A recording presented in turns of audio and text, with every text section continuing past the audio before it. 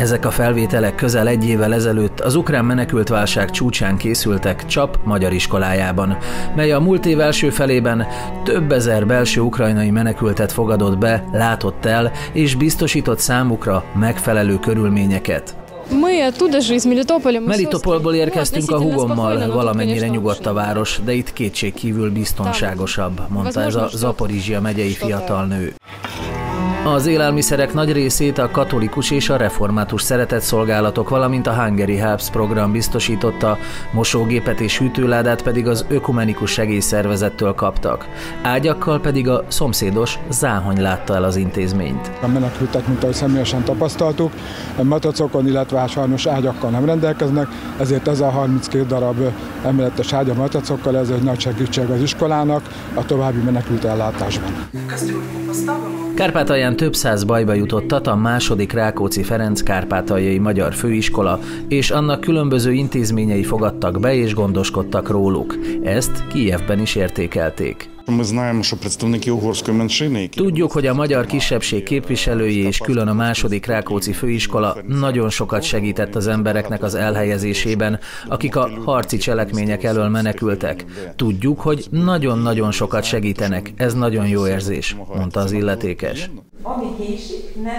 A főiskola az ellátás mellett pedig még nyelvtanulási lehetőséget is biztosított számukra. Kiterjesztették ezt a magyar nyelv tanfolyam hálózatot, kimondottan a menekültekre, menekülteknek is, tehát biztosították azokat a lehetőségeket, hogy magyar nyelven is megtanuljanak azok, akik áttelepülni szándékoznak akár Kárpátaljára, akár Magyarországra.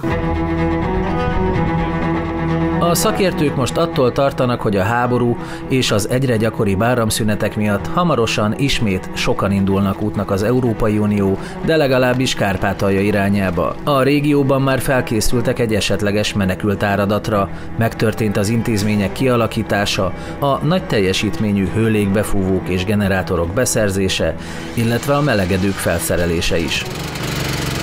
Áram nélkül azonban az esetleges új menekülteket sem lehet majd ellátni, viszont Kárpátalján a legnagyobb probléma az energiahiány. Jó hír viszont, hogy az eddigi napi 20 órás áramszüneteket a megye kormányzójának sikerült a felére visszaszorítania. Ezúttal a krízissel visszaélő vállalkozások kevesebb, a lakosság pedig több áramot fog kapni. Ugyan a hálózatot ért legutóbbi orosz támadások miatt még nem kaptunk központilag több áramot, de mégis úgy döntöttünk, hogy a vállalkozásoknak biztosított energiamennyiséget felülvizsgáljuk, és a gátlástalan fogyasztókat korlátozzuk.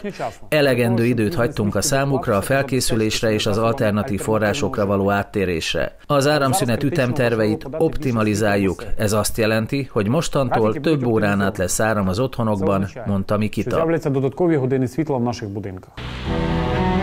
Bár a tél eddig szerencsére kegyes volt az ukrajnaiakkal szemben, félő, hogy az ezt követő komolyabb fagyok miatt egyre többen fogják elhagyni otthonaikat a túlélés érdekében. A békésnek számító Kárpátalja viszont továbbra is biztos pontnak számít a belső menekültek körében, akik a mobil szolgáltatók adatai alapján már legalább 400 ezeren lehetnek a vidéken.